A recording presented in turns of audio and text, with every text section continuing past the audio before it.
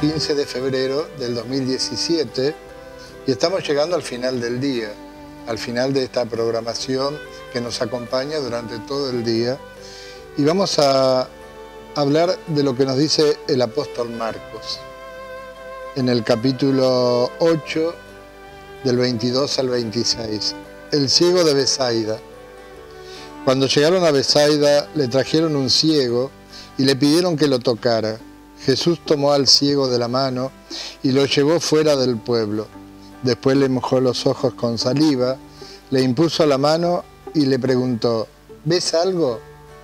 El ciego que empezaba a ver dijo, veo como árboles, pero deben ser gente porque se mueven. Jesús le puso nuevamente las manos en los ojos y el hombre se encontró con buena vista. Se recuperó plenamente y podía ver todo con claridad.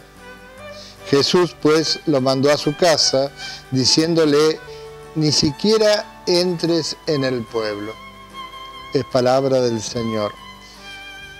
Miren, este texto que aunque breve es tan profundo, quizás sea el único caso en que Jesús hace un milagro tomando de la mano a la persona, con una ternura, inigualable.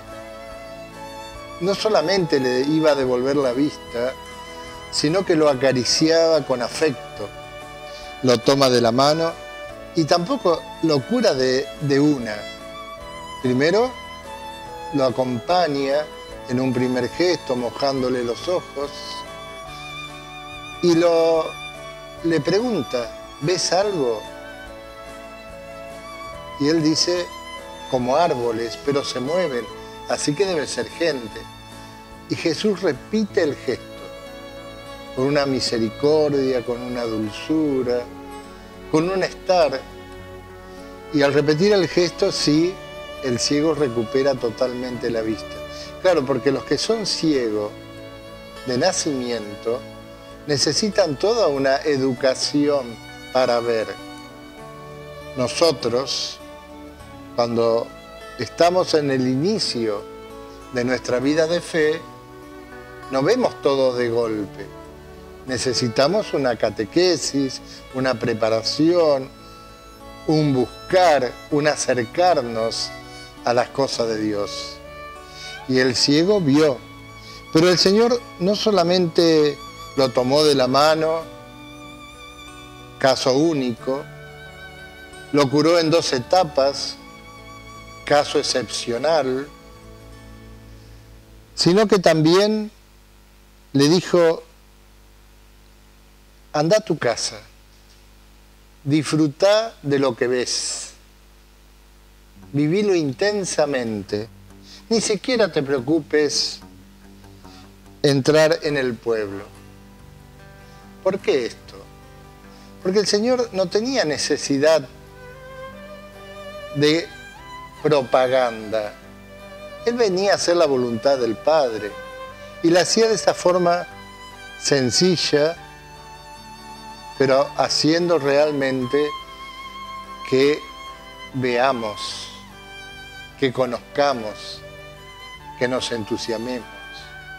Y eso es lo que significa que nosotros que estamos caminando, peregrinando por el mundo, a veces no queremos ver.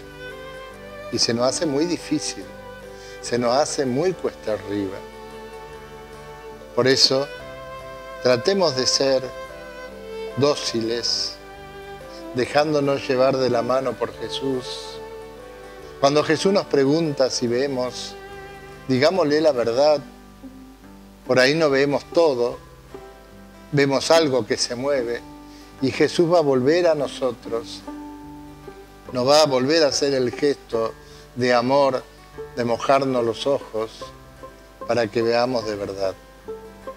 En esta noche que termina el día, que ya estamos pronto a descansar, que recibamos la bendición de Dios y que tengamos un descanso tranquilo para que mañana, vigoroso, podamos seguir el camino hacia Dios, que en definitiva es nuestro leitmotiv, que es nuestra única verdad. Cristo es camino, verdad y vida. En el nombre del Padre, del Hijo y del Espíritu Santo. Amén.